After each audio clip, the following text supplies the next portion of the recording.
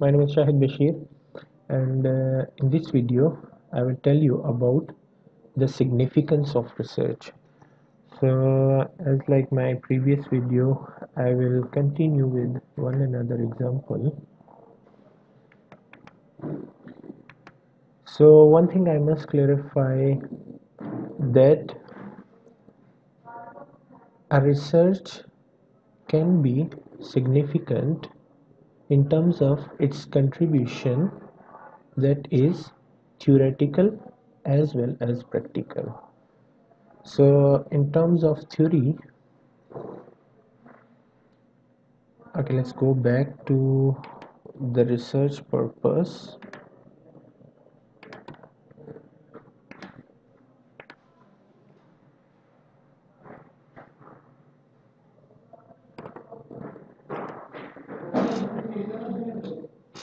Okay, this was the research purpose to examine the mediating role of trust in the relationship between perceived risk and purchase intention.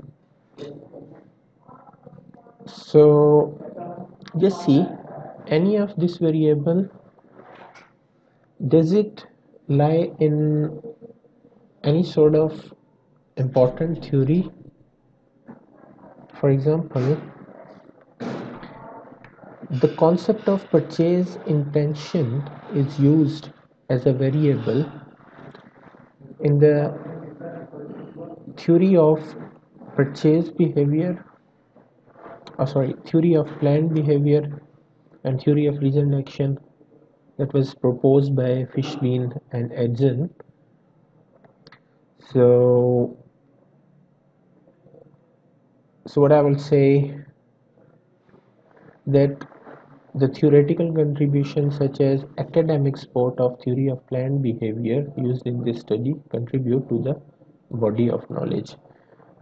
Okay, and then blah blah blah.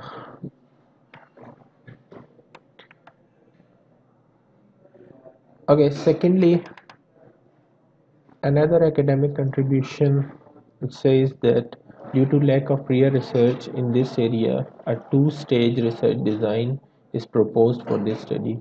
Stage 1 consists of a literature review to explore and identify a suitable theoretical framework for this study. In stage 2, an online survey will be conducted to gather data to test the hypothesis. The methodological insight used in this study will contribute to the body of research knowledge, specifically in Malaysia. So now we have okay one thing i will tell you that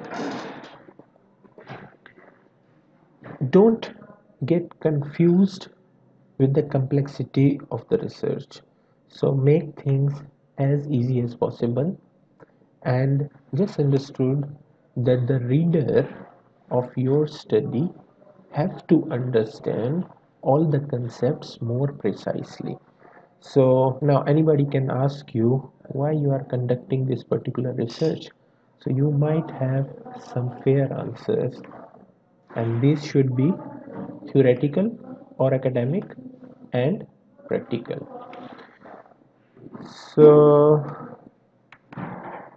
okay now coming to the managerial or practical functions saying that the findings of this study also impact many managerial function in e-business of Malaysia so first, this study would help Malaysian e-business in developing strategies to reduce the specific type of perceived risk found to negatively influence trust, thereby engendering consumer trust in web vendors and ultimately increasing online sales in Malaysia. So then blah blah blah blah blah. Lastly, we have government and or policymakers can use this information to promote online business by improving the infrastructure and regulation of the internet coverage fraud prevention and to address security and privacy issues. This will facilitate and encourage more consumer participation in buying and selling product online. So